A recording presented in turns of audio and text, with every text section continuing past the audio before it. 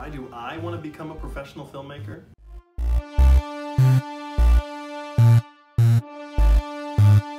Film as an art form is purely collaborative.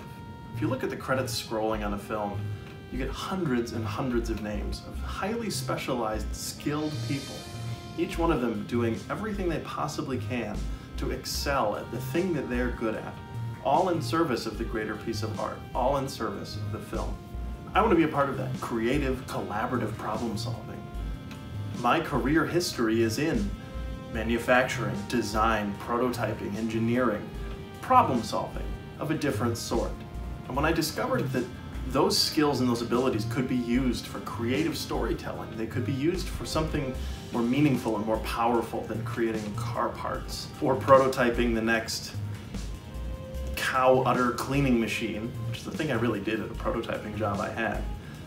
When I discovered that my skills and my abilities and my passion for story and for art and for the transformative power of those things could be used for a higher calling, that's when I realized I really wanted to do this.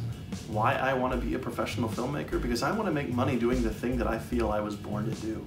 Because I want to have a career where every day I get up excited to go to work, where I get to apply all of my skill and all of my energy towards something that I'm passionate about, something that I love. There's no place in the world I would rather be than a film set. There's nothing in the world I would rather be doing than challenging myself to be better and to make the film I'm working on better.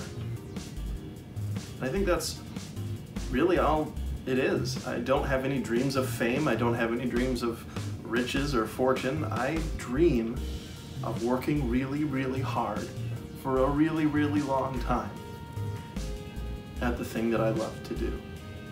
That's why I want to be a professional filmmaker, because I love it. That's really all there is to it.